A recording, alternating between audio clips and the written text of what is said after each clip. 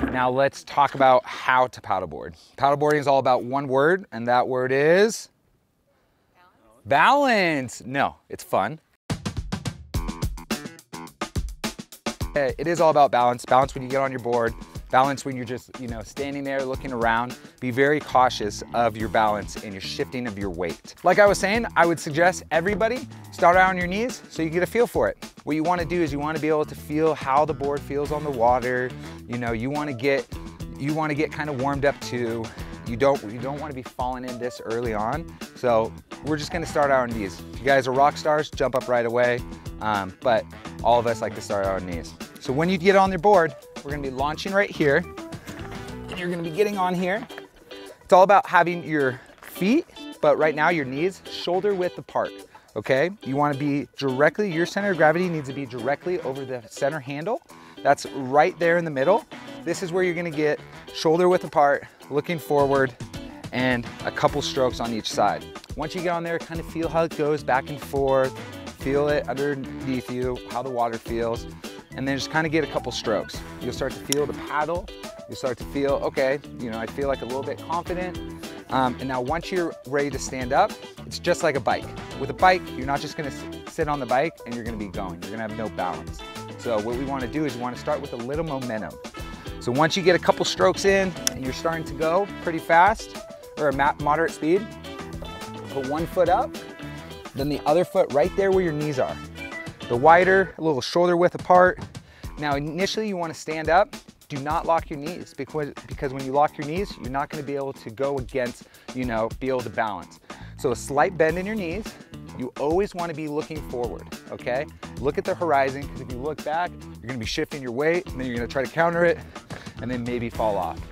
Um, so shoulder width apart, slight bend in your knees, looking at the horizon, and this is where you're gonna be paddling. So when you're paddling, the bottom hand is right here in the middle. Top hand is up here. A lot of people might wanna do this. It's gonna be much easier if you have your top hand on the top of the paddle. So when you're looking forward, you wanna lean forward and you wanna get the entire blade in the water. You don't wanna just go right here, right here, get the entire blade. It's about the quality of the stroke, not the quantity, okay? So once you do it, you're looking forward, dipping it all the way in and pulling it to yourself. It's not a lot of these hand motions right here. It's about the quality. So you, that's why paddleboarding is such a core all body uh, sport. From your feet, your, your feet might be getting a little sore because it's gripping, your legs are engaged, your core is engaged, and your entire back and your arms paddling. That's why it's such a great workout. So you're looking forward, dipping it all the way in, pulling it dipping it, pulling it. We suggest around two to three strokes on each side. So once you do that, switch sides, top hand up here, bottom hand in the middle, looking forward, pulling, pulling it like that. When you look down, your weight's gonna be shifting down. When you look back, your weight shifts back. So you always want to, these are all just best practices when you guys are first learning. Obviously, once you feel comfortable, you can look back, you can smile at the camera, you. But for right now, just kind of go forward. A lot of people, when they paddle, they'll look at the paddle and go like this, but now my body's going right, is forcing down, and I don't know what's in front of me. If you do feel like you're getting, you're losing balance, what I want you to do is not stand up, not try to catch your balance. What I want you to do is slightly, as your center of gravity, you wanna drop it down. So drop one foot, one knee down, and the other knee down, and then just relax. Still, when you're on your knees, your legs are engaged, your core is engaged. So if you need a break, put the paddle down like this, kind of swing your hips towards the center and just enjoy it. Now you're completely, completely just relaxed. And what's great about the inflatable is that you don't get it with a normal epoxy board is there's six inches of thickness right here. So my butt's not gonna be getting wet. I can totally tan, relax, just have fun right here without getting wet. It's really, really nice. If you do fall off, um, we're gonna teach you guys how to get back on the board. So say you fall off, your board's gonna be right next to you because you're gonna have your leash on. This is the easiest way to get back on, but it's definitely not the prettiest. But what you're gonna do is you're in the water, you grab the center handle right here, and you get your chest on the board. Next is you wanna get your, your leg and then pull yourself up. Again, not the prettiest, you kind of look like a seal, but this is the easiest way to get back up.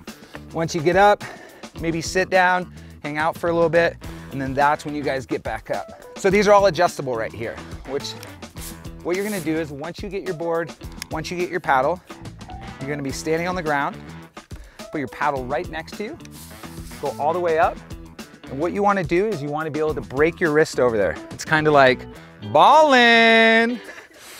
That was McKenna's joke. but that's what you wanna do is kind of break it right over there, snap it. It has an anti-twist, so it's not gonna be able to rotate, it won't go down or up, so it's gonna be nice and strong. If you are on the board and you're like, okay, I'm bending down really hard to like, you know, get more of efficient paddle, go right here, go up a little bit more. Or if you think it's too long, you can slightly go down. Two things to keep you safe.